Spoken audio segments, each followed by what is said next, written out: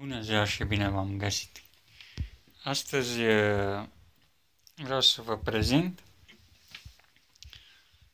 cantitatea de propolis care am scos-o din urma testului cu această plasă. Știți că în filmele anterioare această plasă a fost pusă pe o colonie de albine.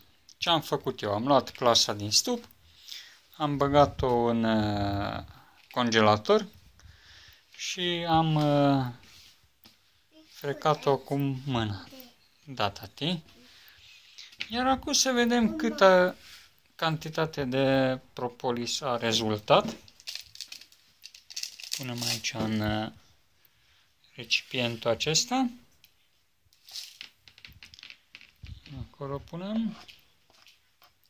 Media pe familie de obicei este de 50 de grame. Așa e teoretic.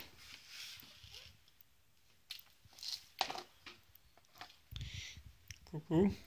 Și uite și Andrei. Ce faci, tati? Bănuțe. Da, albinuții le-au făcut. Bă, bun, papa bun. Da. Iată, așa arată. Este curat. E ceva foarte curat, fără așchi, fără nimic. Tot ce trebuie făcut după ce extragem propolisul acesta din uh, plasa respectivă, din această plasă, trebuie doar să îl punem în alcool, îl macerăm și gata tinctura de propolis.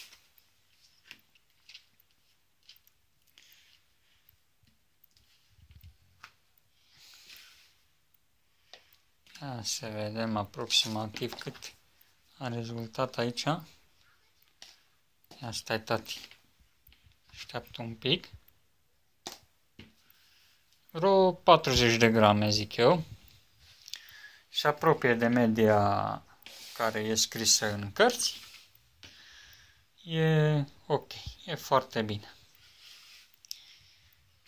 E foarte bine ca test, deci puteam să culeg aproape un kilogram de propolis la, cu aceste plase sau depinde, poate chiar mai mult în funcție de nevoi. Deci la un kilogram ar veni, dacă punem 20%, ar trebui 5 litri de alcool, ar rezulta 5 litri și ceva de tinctură de propolis.